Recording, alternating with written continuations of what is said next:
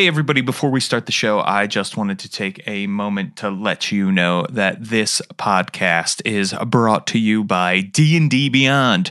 D&D Beyond are the makers of the premier digital tool set for Dungeons and Dragons. Official they're official people. And you can go check them out. You can start playing around with a lot of the tools for free. Why? Because basic rules and things like the Elemental Evil Player Companion are free. And so they're there. And you can go try it out, uh, start playing around with the character builder, which is truly incredible. And there's all kinds of other great stuff on D&D Beyond. Encounter builders, they have a roadmap there that will show you where they are going, constantly making new improvements, constantly pumping out free content content like articles from James Haeck and incredible videos from Todd Kenreck. Plus, they're getting all kinds of new writers up in there. Maybe you saw that DC is in there writing some incredible articles, or the Ashley Warren. That's right, the Ashley Warren. So go check it out. It's all over at dndbeyond.com. This is Tabletop Babble. I'm James Introcaso.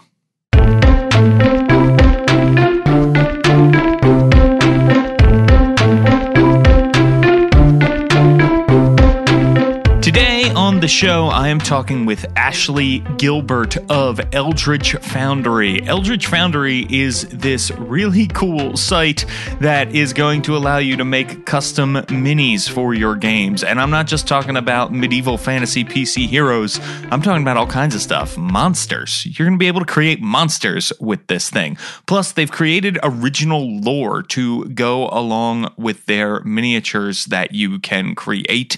Uh, it is a really fascinating fascinating conversation about how this company was created, but also what they're doing, how they envision themselves, and the creators that they are. And Ashley herself is just an incredible person, a creator herself, and really taken the world by storm. Uh, her background with D and D is truly fascinating. So we talk about that. We talk about role playing games in general. Uh, it is a really fun conversation. I hope you enjoyed as much as I did. Here it is.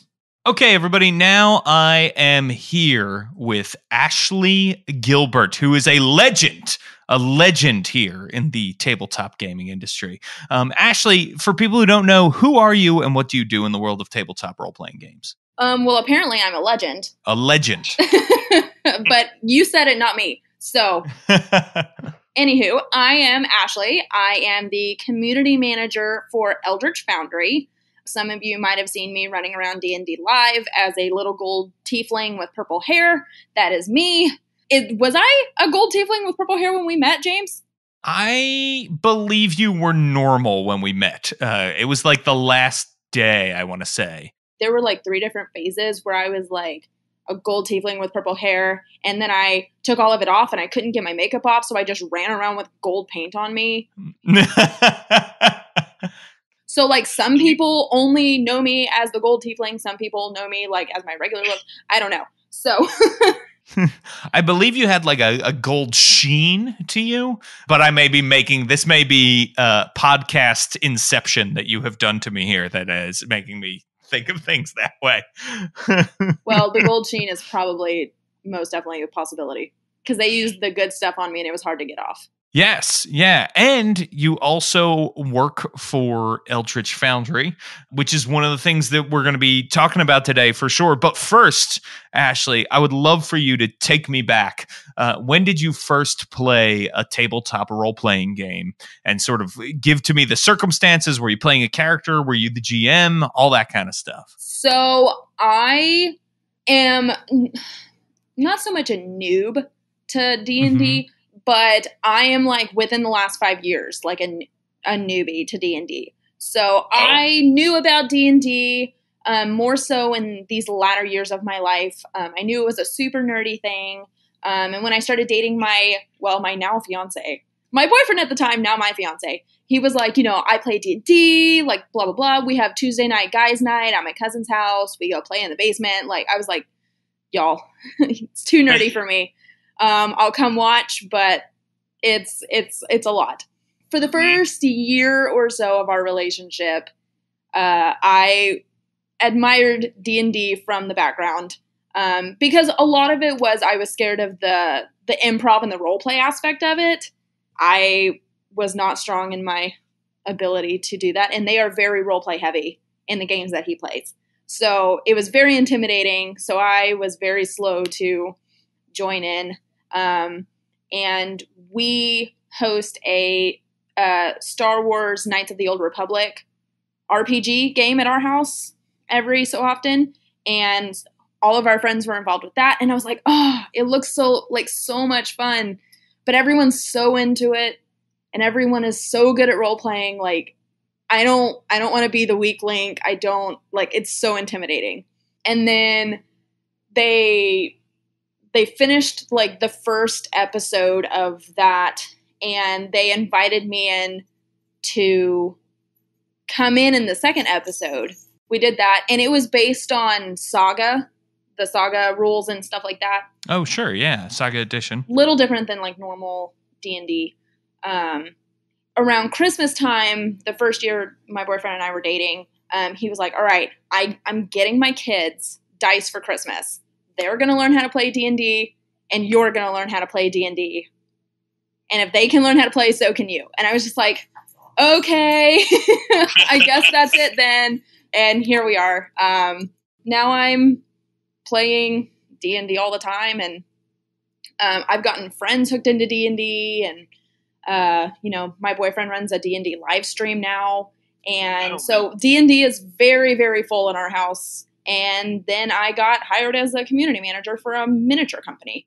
So, so now you live the D&D life. Yes. And I got to go to D&D live this year. So that was so much fun. Yeah, yeah, that's that's incredible. So, how long ago was that then that you sat down and played your first, I guess, uh, Star Wars Saga game? It's been it's been about three and a half years. Wow. Okay. That's I mean that's a fast that's fast to go from I don't have this hobby to this is my job.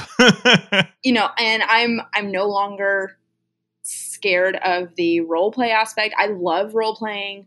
Um, our our Star Wars game is very role play heavy because we're all Star Wars nerds. And so there's lots of references and there's lots of all of that. And everyone gets so immersed. Like, I literally feel like I'm on Mandalore or whatever when I'm sitting at my kitchen table for like seven hours.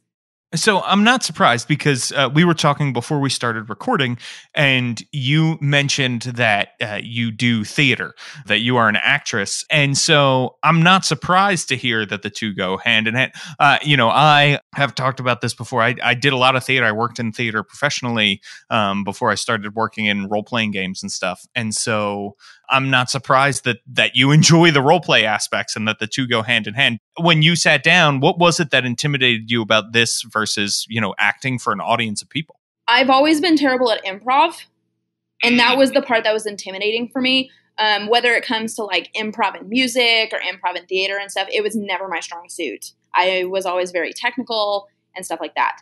And I've actually come to find, especially with being with such amazing role players in these campaigns that I play, they really push me to be better and they help me stay immersed so that it's easy to make those character choices and stay in the role play and not be afraid of it. Yeah, that's actually a, a great way to put it, right? If you can trust the people you're with, and that's a big tenet of improv too, right? Is you need to be able to trust uh, the the people you're performing with. Have you managed to get any other actors uh, or theater types into you know role playing games since you've started playing? Yes, my best friend when he lived in Georgia with us, um, he is also an actor. He does a lot of theater stuff back in Texas. Um, we got him involved in D and D our DM for our Star Wars game, he is a local Atlanta actor. His name is Patrick Logan. He's amazing. Um, and he started out playing in the Star Wars game, and now he took over as DM. And his uh, world build his world building skills are in, insane. And he's also like an amazing actor and improver and stuff like that. So it's so great getting to work with him. the way his mind work is works is it's so creative and so just there's so many layers. Like we have just this running list of side missions, and we're just like, oh yeah, that's still a thing that we should probably do. and it's been like months since that happened. Like there's just so many layers, and it's oh, and he's like, "Well, you know, we'll we'll get to this. Like everything you do has consequences. Everything you do, like chain reaction, blah blah blah." And so he's building it around us. It's intricate, it's insane, but it's amazing. Those are great game masters who are, uh, you know, building the world with their players in that way is is huge. It's one of those games that you wish everybody could see and watch and be a part of because it's so for lack of better words like life changing because you really do like get so immersed into it. And these battles that we do like these are lasting consequences like throughout the galaxy. And you just you want everyone to understand how amazing this game is. But no it's been that the star wars game has been a like a three three year game. But you know we play regular 5e at the house too. Sure I promise you we're going to get to Eldritch Foundry too. But I have so many questions now uh, based on what you've told me so far because I'm uh, I'm super curious about. You said that you were playing Saga Edition, which is a you know for people who don't know, it's a Wizards of the Coast version of the Star Wars role playing game that sort of came out in the 3.5 days, uh, kind of between 3.5 and 4, and it has you know a, a lot of the 3.5 aspects in it but now you're playing fifth. Who who made this conversion? How did you make this happen? Our star wars game has been broken up into quote unquote episodes. And mm-hmm, so mm-hmm. we had one person dm the first two episodes. And then when we when patrick decided he wanted to dm and that our dm wanted to be a player we were like okay we kind of sat down and assessed and my my boyfriend is very he's very technical and very good with like rules and like all of that and he should be. He's running a d&d live stream so i would hope he's good at those things. But they kind of had a powwow and they were like look while we love playing saga because there's just so many like weird fun things you can do with it It sure. is a very broken system and we were all very very overpowered Mm-hmm, and mm-hmm. they managed to find a 5e homebrew that they really liked and that it was it was way more balanced it, the rules were easier and we had a couple of new players coming in as well that had mm-hmm. never played before ever and so they were like now would probably be a good time to go ahead and switch over if we were all playing the same character because some people had died, some people had not. So for those of us that were still playing the same character, it was an easy conversion to get everything switched over. I do miss my saga version of my character because it was awesome. But sure, sure. But the 5e, it's so much it's so much more simple and easy to to work with and introduce people into it's very cool that you're you know running sort of a homebrew hacked up version of that. I've seen some people do that with star wars and it is it's super cool. And it's great because you don't necessarily have to learn something totally new especially when you're getting people to play. You're like hey look you don't really need to you know it's it just works this way. The force works this way and now we all know how the force works and we're good to go right so it took out it took out a lot of the complicated stuff. Like Saga had all these things like destiny points and force points and like all these different things of like, oh, you could spend a destiny point to like not have that nat one happen mm-hmm. or stuff like that. And it's just like it's fun, but it's a lot. Yes. And yeah. 5e really just like simplifies everything. Hey, everybody, I just wanted to take a quick break to let you know that Tabletop Babble is brought to you this week by Elderwood Academy. Elderwood Academy are the makers of handcrafted, incredible gaming accessories. Everything from deck boxes to dice towers to these incredible spellbook boxes, of which I have two two of them, count them, that you can use to bring dice, cards, miniatures, pencils, whatever you need to your next game. But hey, it doesn't stop there. They have dice, they have hex dice chests, they have mini dice and mini hex dice chests that attach to your keychain. You're ready to game anytime pretty awesome. You're going to want to go check it out over at elderwoodacademy.com slash don't split. That's elderwoodacademy.com slash don't split. Also, this week, Tabletop Babble is brought to you by the gentle folks at Nerdarchy. Nerdarchy is having a Kickstarter for their out of the box encounters, and it's already funded and like way overfunded. It's almost done, smashing through stretch goals. You are going to want to get over there and check it out right away before it ends less than a week. Go check it out right now right now. The Book of Encounters is designed to make running 5th edition effortless. And guess what? I wrote one of the encounters. Woo! You're going to want to check that out because you like me, right? Probably if you're listening to this show. If you don't, that's weird. It's weird. Um, and I'm sorry, that, frankly, that you're listening to this show if you don't like me. But you probably, even if you don't like me, you'll love Nerdarchy. You know why? The Nerdarchy team is amazing. Their design chops are through the roof, and each encounter in the book is full of content that can be used to fill the gaps in between adventures, hook your characters into a new story, or have an entire campaign built around them. They're packed with wilderness and dungeon encounters. The book already has all areas of play covered, from sword and spell slinging to puzzles to social interaction. Plus, it's not just me working on it. We're talking about Lisa Penrose, we're talking about Matt Mercer, all kinds of awesome stuff. Check it out at nerdarchy.com. That's nerdarchy.com. Tell them DSPN sent you. Let's get back to the babble. Okay, so you're doing this stuff. How does Eldritch Foundry come about? Was it already in existence? Are you part of the team that helped uh, make Eldritch Foundry what it is? Uh, tell me about that. They were they were up and coming when I joined in. I found out about them. It's it's kind of a weird story. So, like I've mentioned, my boyfriend and his best friend they co DM a D uh, a D and D live stream. They watch Critical Role, and through watching Critical Role, they discovered this guy named Ilya Salnikov, who has done some insane animated critter art. And if you if you saw the Critical Role Game of Thrones intro video, yes, that's Ilya. Yes, that is Ilya Okay. and his magic talent. So they discovered Ilya and they're like, we really like his style, blah, blah, blah. And so Ilya made their intro for their stream. In doing that, they got to know Ilya, and Ilya was like, hey, I am the concept artist for this up and coming customizable miniatures company called Eldritch Foundry. And once they kind of like get the ball rolling a little bit, we'd, you know, love to like sponsor you guys and make, you know, your party minis and stuff like that. Let's fast forward probably about five or six months to about January. The stream has started, and Eldritch is kind of, they're getting their feet underneath them, and they reach out to Dustin and Devin, and they're like, hey, you know, our ball, our ball is rolling a little bit.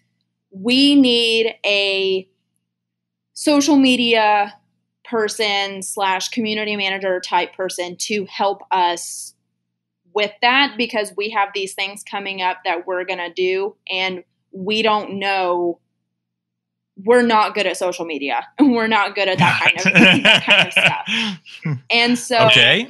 you know dustin my boyfriend recommended me outside of being his girlfriend. Um, he was like hey ashley has done social media for some other people um, and so i think she would be a good she knows the d&d world. She knows she you know she loves it as a hobby and she knows social media. I think she would be a really good fit. And so they interviewed me and it was pretty much almost hired on the spot. So they were like help us. We need help with the social media because we're just no good at it. Work your magic. And so i started doing that and um, started doing a lot of community managing stuff which i did a lot of that at d&d live where i get to just go and talk to people and network and stuff like that which i love doing and i'm really good at. That was back in february and they were like okay so we got to get this ball rolling because we have this kickstarter that we're doing in may. And so we have to get our like our ducks in a row and all of that. Let's go. And i mean it's that again that was back in february and here we are it's almost august so uh, it's been a very fast pace thing, but I absolutely love this job so much. Oh, good. I mean, that's uh, incredible. And what uh, what y'all are doing over there at Eldritch Foundry is amazing. So I guess uh, let's start off with like, what is Eldritch Fa- uh, Foundry? What do you do? So Eldritch Foundry is still an up and coming 3D printed customizable miniatures company. So Gotcha. we are we are post Kickstarter. We had a Kickstarter happen the beginning of May and it ran for a month. We were expecting like, oh, you know, we're maybe we'll have a couple hundred backers and we set our goal we set our goal at $30,000 because we were like that's Uh-huh. reasonable. That's enough to like keep everything going to to keep moving forward. Uh, we hit that in the first three hours, hmm and then it was just like, okay, that that happened, and we were all like, just dumbfounded and humbled by it. And within the month, we raised over five hundred thousand dollars. We had over twenty thousand minis ordered in our Kickstarter. Oh my gosh. Uh, so what? I mean, what does fulfillment look like? we ended our Kickstarter in the beginning of June, and in Mhm. these past uh, few months, we have been working on getting the stretch goals that we had funded, which were the different races, different genres, different um, different options for people to choose from. We've been we've been working getting that ready to go because we didn't want to launch our website with only fantasy options. Gotcha. because that's that's not a good impression on anyone. That's not going to help us stick out Mhm. or anything like that. And everyone's just going to be impatient on what you know when is when is this coming out? When is this coming out? We wanted to go ahead and have like a decent library of options. And so that's what our kickstarter was kind of geared more towards was opening up those options to get them developed as quickly as possible What do you think separates you from the, uh, I guess, for lack of a better term, competition, right? Other companies that are doing custom 3D printed minis and things like that. What what makes you different? So we print with a resin like material instead of just like a premium plastic. Um, Mhm. it, it's still like a plastic that we use in our 3D printing, but we use a, a resin like material called uh, photopolymer. Gotcha. Um, and okay. the way our our printer is designed, our printer can print up to up to about 70 minis at one time. wow. Um, it's very high tech. It's very fun. Um, but it prints the minis and encoats them in wax. And so instead of 3D printed supports and flashes and stuff like that on our minis, it's all wax. When it's done printing, it's in like a little wax shell, and we take the mini and we throw it in a quote unquote fryer of sorts. it's not really a fryer, but it when you Sounds when you see it like yes, when you see it like dissolve and stuff, it it looks like a fryer. Um, but we take the mini and we put it in this fryer type thing, and it melts the wax, and so you don't have the little flashes. We don't have any seam lines or print lines in our minis. We really have been pushing the quality of our printing um, as much as possible and trying to achieve that that high quality. Yeah, it sounds like there would be a lot of um, you know, QA and work kind of that goes into that. Yes, on top of you know pushing the the high quality of the printing, and you know we've played around with different materials.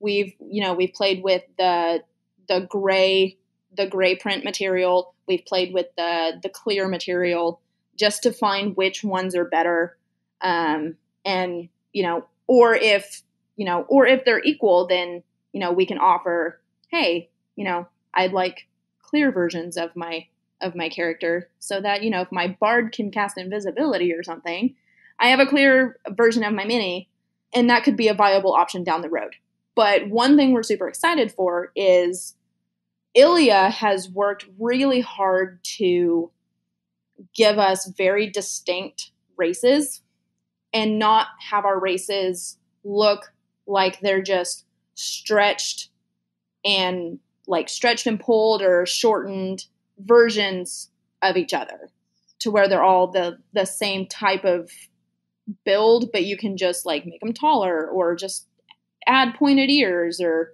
you know add some weight to it. Like we want all of our races, we want our humans to look very distinct from our elves. We want our dwarves to look very distinct from our humans. We want everything to have its own unique look and feel. Mm-hmm. And he's done a great job at achieving that. Um, and I think everyone's going to be really excited when they see how distinct everything looks.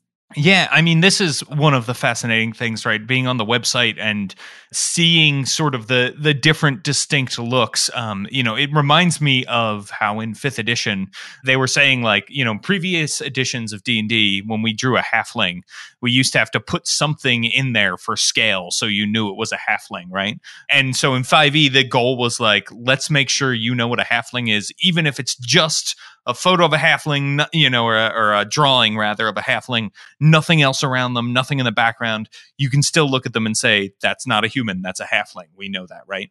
I am reminded of that as I look at your website and the the offerings that are here on the thing. Uh, but the other thing that uh, strikes me as interesting is that you have a whole lore section on your website and you have a lore like most of the time when you go onto a website like this where they build custom minis, there isn't this story, this lore that goes along with it. So what's that about?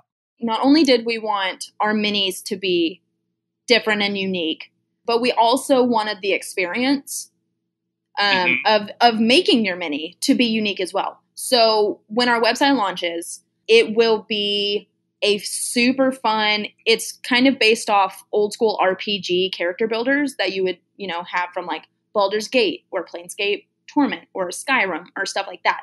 And so we've created this world building feel to mm-hmm. the mini creation process so that it's not just, you know, gray mini on like a grayscale background and, you know, it's just kind of standing there and floating and stuff like that we wanted it to be, you know, our wizard comes in and he's part of the creation process and it's very you have all the different options that pop out in the the different sections instead of just like a running list library of stuff.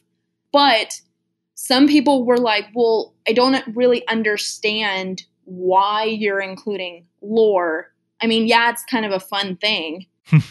but like some people love lore. And so sure. those people are going to really dig it.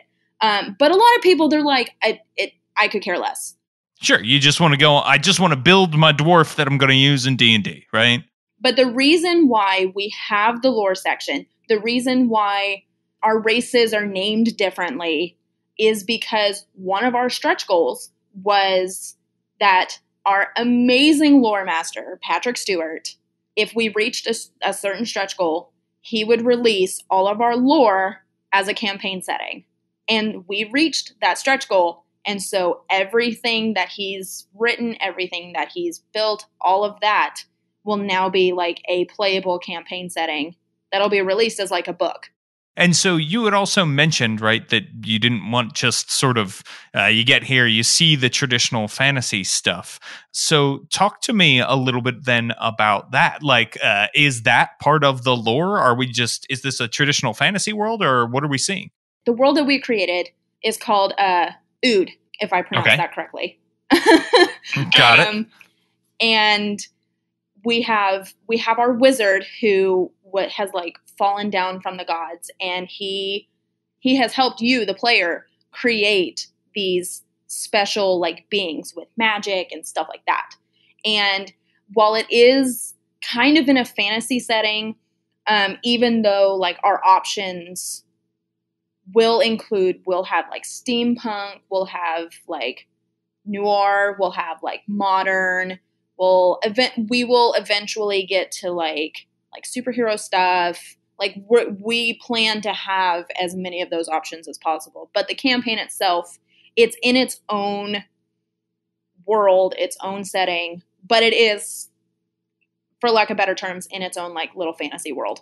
Patrick is amazing and so a lot of people a lot of people are probably familiar with his work because it's not uh not uh captain picard patrick stuart yeah, exactly. We should we should mention that it's not Captain Picard, but this is um, you know, Patrick has been designing games for a long time. Uh, I you know, he is one of the first names I hit when I started uh, doing my thing with podcasts and with game design, and you know, in uh, Google Plus.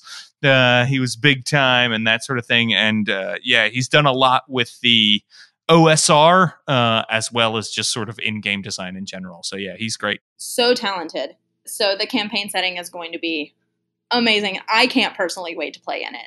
Well, that's cool. And it will it be system neutral? Like you can play sort of whatever. Hey, you know, you want to do D and D? Great. You want to do something else? Great. You can do that too. Yes, the big things that we wanted to encompass with our minis were were D and D and war games. But sure, and then War Games also opens up another way for people to engage with your product as well, right? We're hopefully, if it kills us, the plan is to launch our mini making website middle to end of September. Wow. Okay. And then everyone will, will be able to start making minis and all of that.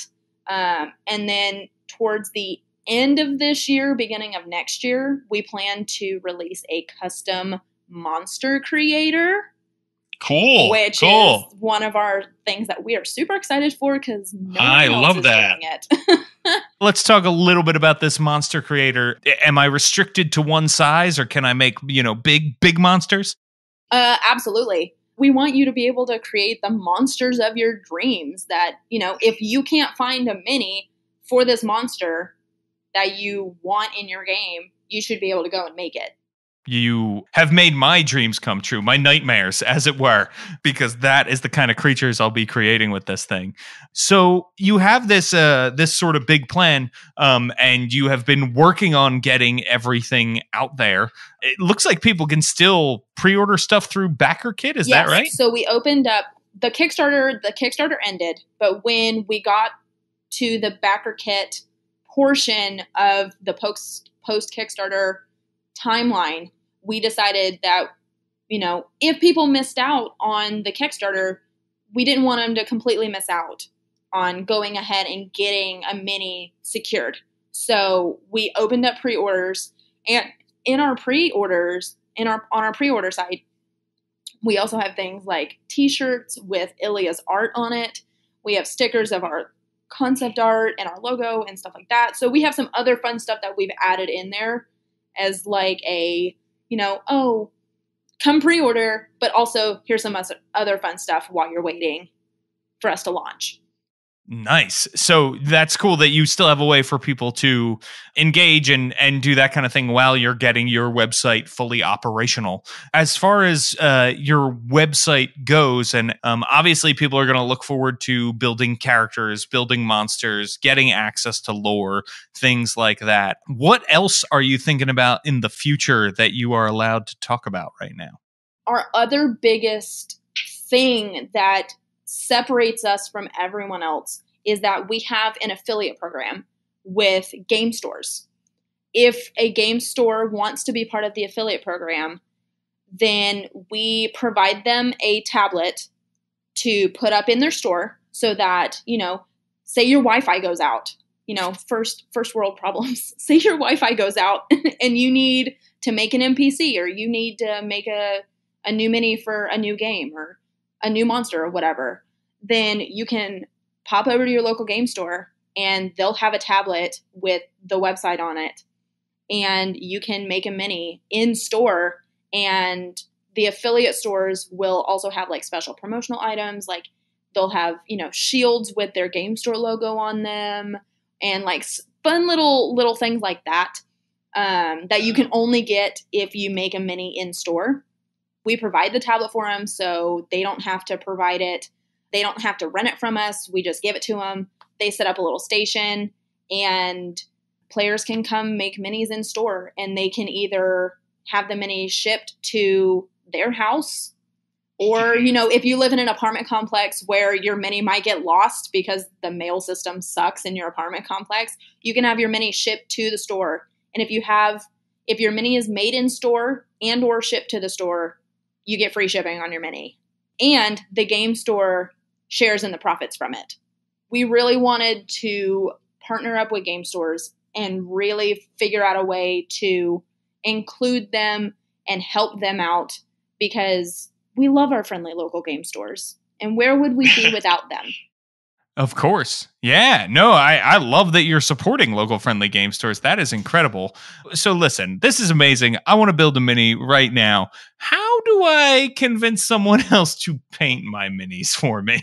so, that is a great question. Um, we've had a lot of people ask, you know, oh, will minis come painted? Will, you know, what if if I suck at painting minis or if I need someone else to paint it for me, like what can I do? We will be keeping like a running tab of mini painters so that and we'll have like a marketplace of sorts towards the end of the mini creation process to where if you need that service we have a list of people for you to choose from. Not everyone not everyone can paint their minis. Not everyone wants to paint their minis for I mean, a hundred percent that is me. I I will cop to I cannot make minis or I can't paint minis. I can't make them either. And uh, I would love for you know th- that's the thing is I always want to go on to build a custom one and then I'm like ah then I got to find somebody to paint it and yada yada. Uh, this sounds like it makes it a lot easier to do that. We we are trying to think of everything to just just help everybody out. We want your mini creation process to be fun, and not stress you out. Nice. Well, that is excellent. Well, thank you uh, so much for uh, for hopping on here today to talk with me. Before we go, where can people find you on the internet? You can find Eldritch Foundry on Facebook, Twitter, and Instagram at um, at Eldritch Foundry. Me personally, I am Babs the Bat on pretty much all of the socials. That was a great conversation. You are going to want to go check out more on the Eldritch Foundry website. So go check it out.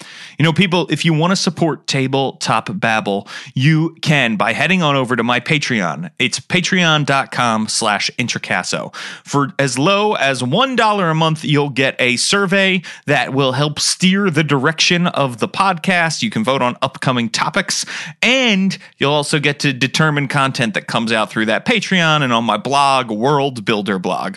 Plus, if you contribute at higher levels, you'll get even more content from me articles, videos, that kind of thing. So go check it out at patreon.com slash introcaso. If you're already there and you're already giving, thank you so much. I so, so, so, so, so appreciate it. It is huge.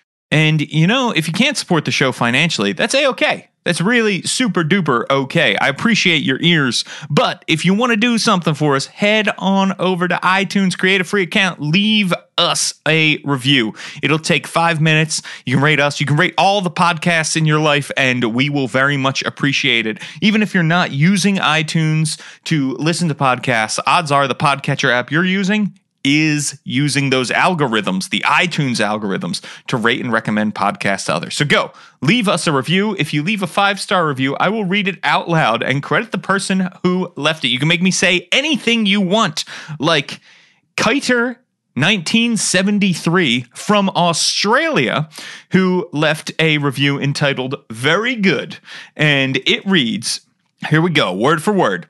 Tabletop Babble and James put on a fine podcast for all gamers. Apart from a misguided belief that bedroom antics are somehow similar to role playing games, most likely an indication that James probably purchases and reads too many game books and not enough centerfold style publications that contain tips and tricks to help him get rid of this puerile punchline. Guests are interesting, topics are well selected, and I particularly like the episode on feedback and his willingness to read out any five star review on his show.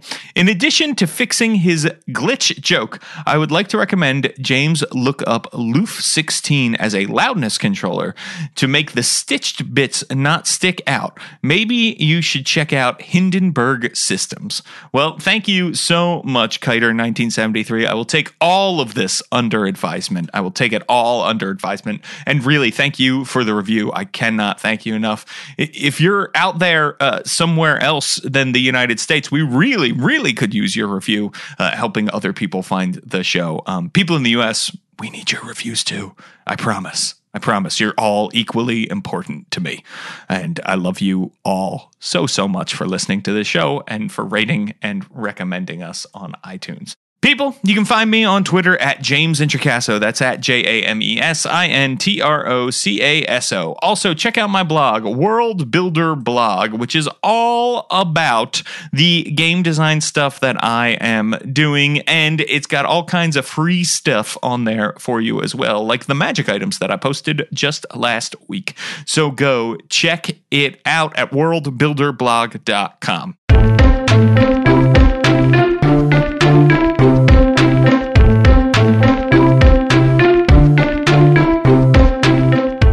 Tabletop Babble is a show on the Don't Split the Podcast Network.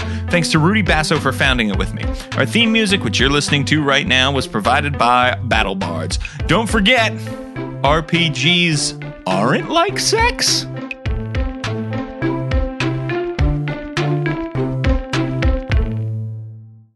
Everybody, before you go, I just wanted to let you know that uh, Tabletop Babble this week was brought to you by 1985 Games. Dungeon Craft is a new book filled with cutout game pieces that lets you create an engaging world for your next campaign. Put down your marker and use the pieces from the book to craft your world in real time. Dungeon Craft provides rivers, trees, caves, buildings, hordes of monsters, dragons, chests, spiritual weapons, and so much more. Simply cut out the 1,000 plus terrain pieces that are in the book and place it on a map. Unlike 3D terrain, Dungeon Craft doesn't require much storage space. When you receive a copy of Dungeon Craft, all the terrain pieces come bound in a spiral book. Simply cut out the pieces you need, and all the other pieces will be left in place. All the pieces can easily be stored in a binder. The whole book can fit neatly into any backpack for on the go dungeon mastering. Also available are the Hell or High Water companion books. Yes, these two companion books were made to be used with Wizards of the Coast next 2 releases Ghosts of Saltmarsh and Baldur's Gate Descent into Avernus. For more information on Dungeon Craft and to pledge for your copy, go to www.1985games.com. Well, it's been a while since I heard of www. Anyway, go to 1985games.com. Those are all numerals, the 1985games.com. And make sure you tell them DSPN sent you.